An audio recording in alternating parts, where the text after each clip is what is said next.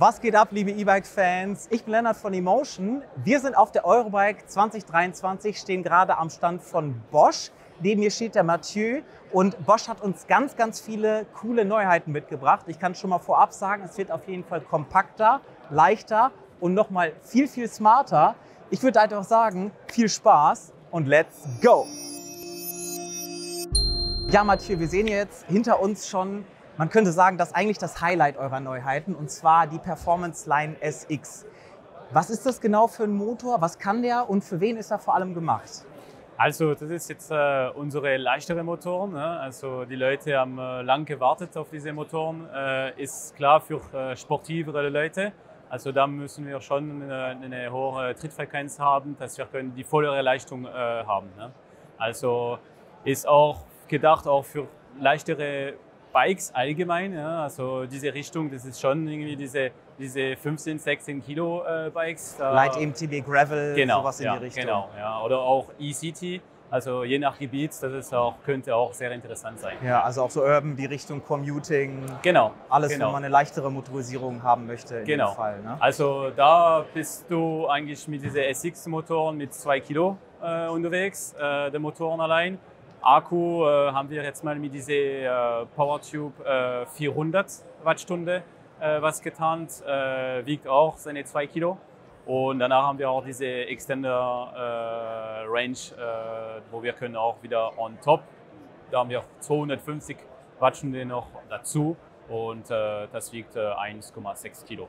Es ist in, in, in, die Kombination mit dieser PowerTube äh, 400 ja. und äh, wie gesagt, äh, danach äh, es wird auch für die andere, andere Akku auch möglich sein. Ja. Wie war das genau? Wenn ich in höheren Trittfrequenzen bin, dann gibt er auch noch mal richtig mit Power, was die Kadenz dann auch Ja, angeht. genau. Also da sind wir genau ähm, wir sind genau mit diesen 600 äh, Watt äh, an die Spitze. Ja. Das ist genau, was wir kommunizieren äh, immer mehr, äh, weil das ist unser Vorteil. Ähm, also er ist genau so stark wie eine CX-Motoren äh, und das macht äh, schon sehr viel aus, wenn du, wenn du in die hohe Trickfrequenz äh, äh, bist. Also, ja. Ja. Der Performance Line SX kommt vor allem immer in Kombination mit dem äh, Compact Tube 400 und ihr habt aber auch noch, wenn man das Ganze jetzt erweitern möchte, den neuen, einen neuen Range Extender mit rausgebracht. Und zwar, der kommt mit 200 Wattstunden. Du musst mir einmal auf die Sprünge äh, helfen, wie, das, äh, wie der genau heißt. Also, diese, diese Range Extender ist wirklich äh, so gedacht, dass wenn du startest und du weißt, dass du machst irgendwie eine größere Runde, äh, dann musst du dann zu, zusammen mit der PowerTube auch nutzen halt. Ja? Also es ist, äh, da nutzt du wirklich die vollere äh, Energie äh, von deinem Akku. Also wenn ich jetzt eine etwas kleinere Tour mache, dann äh, würde mir der komplett reichen. Aber wenn ich jetzt eine größere Tour mache, dann würdet ihr schon empfehlen, direkt von Anfang an den Range Extender mit draufzusetzen. Ne? Ja, Woran genau. liegt das genau? Ja, genau. Also dann, wenn ich weiß, dass ich gehe wirklich ein bisschen länger unterwegs, dass ich mache meine 1200 Höhenmeter, dann äh, ist auf jeden Fall äh, schon optimal, dass ich diese Compact Tube nutze gleichzeitig mit äh, dieser Range Extender. Ja, das ist, läuft einfach beide danach zusammen. Das heißt, ich habe einfach die vollere Leistung. So diese Mini-Remote äh, haben wir schon seit letztes Jahr äh, in dem Portfolio. Also er ist verbunden per Bluetooth äh, mit diesem mit diese System-Controller. Das heißt also im Vergleich zur Mini-Remote hat sich jetzt bei der Mini-Remote quasi nur die Schelle verändert und von der Funktionalität ist eigentlich alles gleich geblieben. Ihr habt das nur einfach auf, eine, auf, auf, breitere, ähm, auf einen breiteren Lenker, breiteres Maß angepasst. Ja, ja. Äh, ja, Mathieu, ich kenne ja jetzt schon das Kiox 300. Das ist ja jetzt schon ein Jährchen alt. Ähm, aber ihr habt eine Neuerung rausgebracht, die nochmal ein bisschen größer ist. Vielleicht könntest du das einmal zeigen, weil das ist schon, sieht schon echt cool aus und uns erklären, was das mehr kann als das Kiox 300. Genau. Also, wir haben diese Kiox 500, er ist wesentlich größer. Von die Größe, er ist äh, 40 Prozent größer als das Kiox 300. Ist ähnlich wie eine Intuvia von damals, ja, von die Größe. Das ist genau, was die Leute haben äh, damals bisschen erwartet. Äh, dass, die sind auch damals viele auf dieses Neo gegangen, ja. Und, äh, und da wollen wir auch einfach so ein Produkt haben, dass die Leute, die haben auch diese Funktionalität von der Kiox 300, aber auch auf diese 500. Und ja. jetzt stehen wir hier auch schon direkt an, äh, ja, wie soll ich sagen, an eurer E-Bike Flow App, wo es ja auch noch ein paar Neuheiten gibt, äh, wo ihr auch einiges hinzugefügt habt. Da wäre es super cool, wenn du da nochmal drauf eingehen könntest. Ich weiß, es ist ein großes Thema. Ja, also die Konnektivität ist auch immer so ein bisschen ein komplizierteres Thema. Äh, die Leute wollen Fahrrad fahren, ne? die wollen nicht unbedingt ähm, aufs Handy drauf sein. Und da haben wir auch was einfacher gemacht, intuitiver, äh, dass die Leute haben wirklich Lust, das zu nutzen. Und der Punkt Nummer eins ist wirklich, ähm, wenn ich fahre, wenn, wenn ich fahre das Fahrrad aus und ich fahre mein, mein Fahrrad an, ich muss da mein Handy nicht unbedingt in der Hand nehmen, dass, äh, dass er ist äh, eingeloggt halt. Ja? Und das ist ein riesiger Vorteil, weil die Leute haben dann auch, äh, ist einfach mit dieser Bluetooth 5.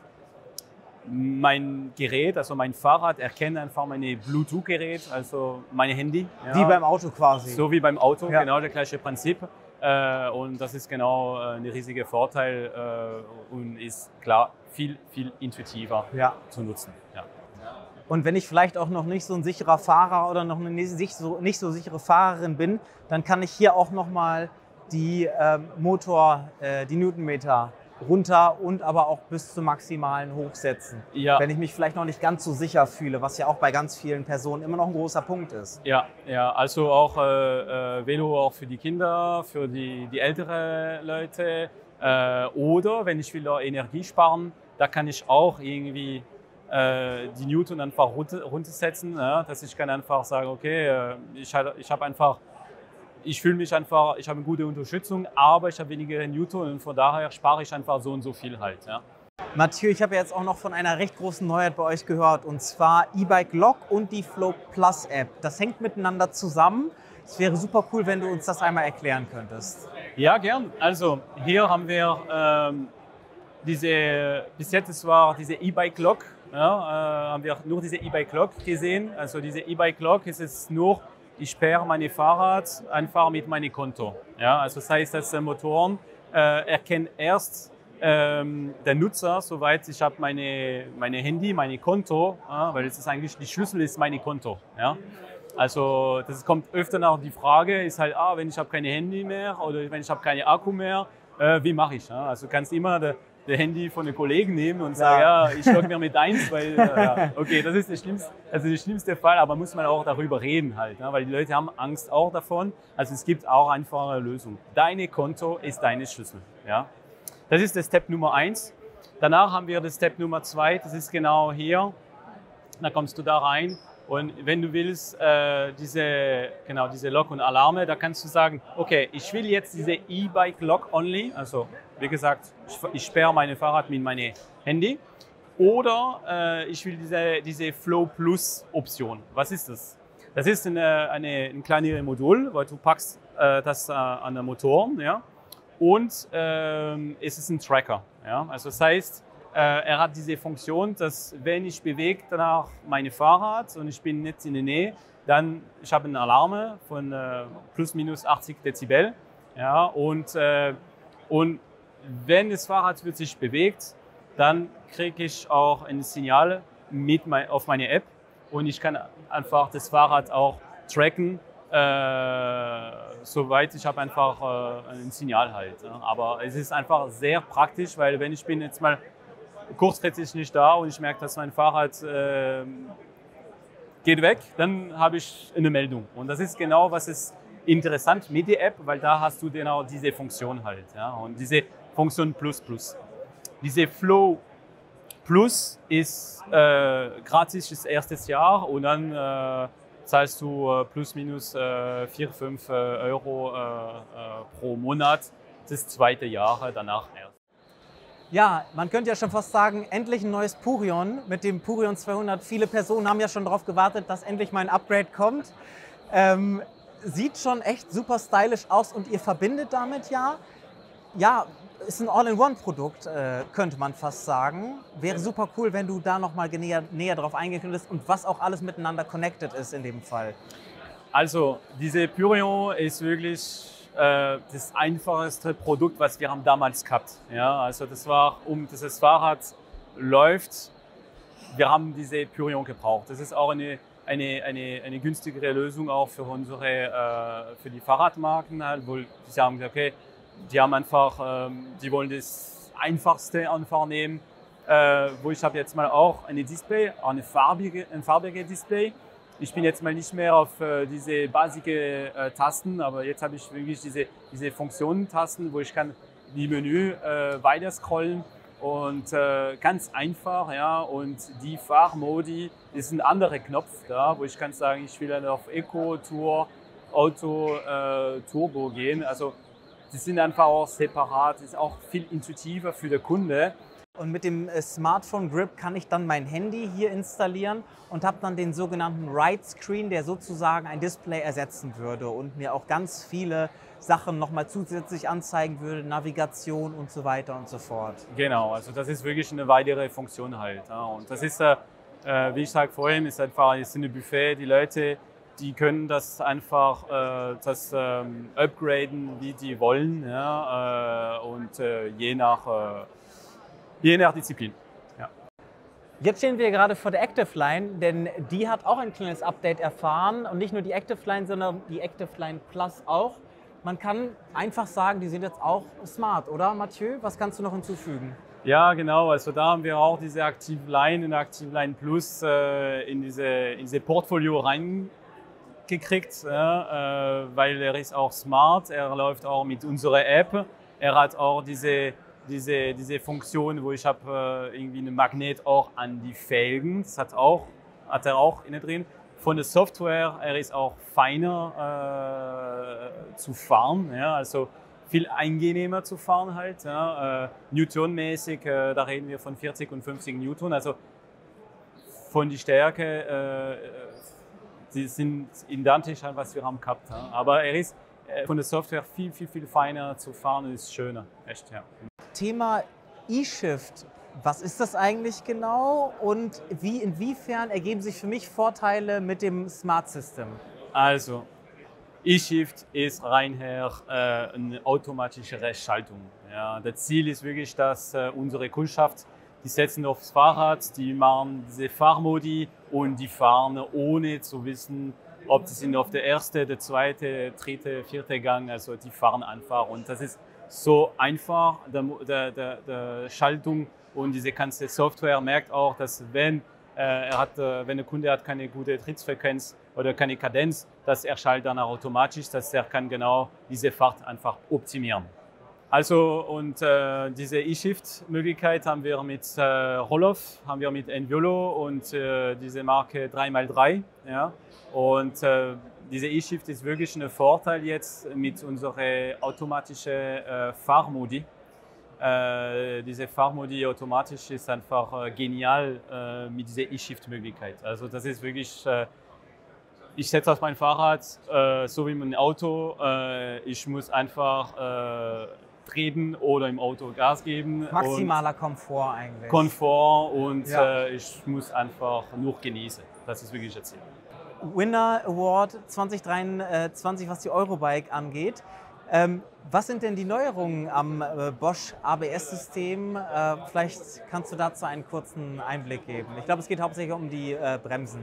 Ja, also der ABS läuft wirklich äh, auf der Vorderbremse äh, nur. Also da haben wir äh, nicht genau diese, diese große Nachteil von diese, wie im Automobil oder so wie in so wie im Motorrad, wo wir haben äh, viel mehr Gewicht halt. Also da mit dem ABS vorne, da machen wir äh, wirklich den größere Teil von dem Job. Ähm, ist äh, super jetzt mal seit letztes Jahr haben wir auch äh, verschiedene ähm, Fahrmodi eigentlich für ABS. Also das heißt, ich kann das nutzen für diese City-Bereich, ich kann das nutzen, äh, wenn ich fahre breitere Wege. Ich ich kann einfach das nutzen für das MTB-Bereich. Ähm, also ich habe verschiedene Software, äh, je nach Profil auch wieder. Ähm, diese große Neuheit dieses Jahr ist aber, dass wir haben auch ähm, einen neuen Partner mit äh, TRP, also Tektro. Äh, also das heißt, dass unsere ABS wird danach laufen mit Magura und mit Tektro TRP äh, äh, ist möglich halt. Ja. Das ganze Thema ABS, da ist natürlich auch der Sicherheitsfaktor einfach ein ganz, ganz großer Punkt, was das Ganze angeht. Ja. Ich sehe schon, wir haben jetzt ganz, ganz viele Neuheiten hier äh, bei Bosch gesehen. Ich würde sagen, bei euch steht Kompaktheit, Leichtigkeit, aber auch die, das Customizing und die Anpassbarkeit auf jeden Fall im Fokus aktuell.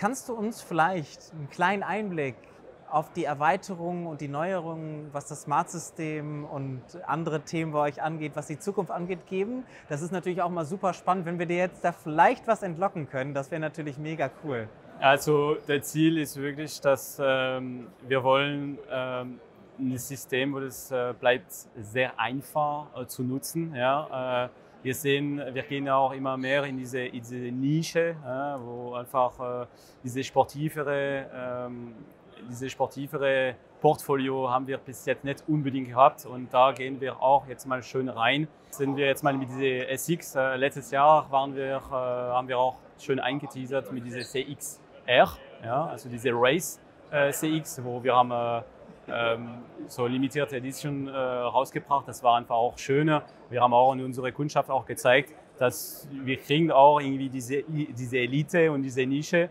äh, und da wollen wir auch immer mehr äh, äh, dabei sein. Es ist wir noch gespannt für die nächste, für die nächsten paar Jahre. ihr werdet sehen, wir werden echt coole Sachen noch rausbringen. Ja, das glaube ich, das klingt alles schon sehr cool. Wenn ich mir den Stand hier jetzt schon angucke, dann bin ich total gespannt, was in den nächsten Jahren noch so äh, von euch kommt. Ähm, deswegen super cool. Äh, vielen Dank für die Präsentation. Hat echt richtig, richtig Spaß gemacht. Sehr, sehr nice. Ähm, wenn ihr jetzt auch mal Bock bekommen habt, ein Bike mit einer Bosch Neuheit Probe zu fahren, dann könnt ihr gerne demnächst in einem unserer Emotion Stores vorbeikommen. Dort werdet ihr zusätzlich zu der Probefahrt auch noch beraten, könnt das Bike auf Herz und Nieren testen. Ich würde einfach nur noch mal sagen, danke an dich, danke fürs Zuschauen, tschüss und bis zum nächsten Mal.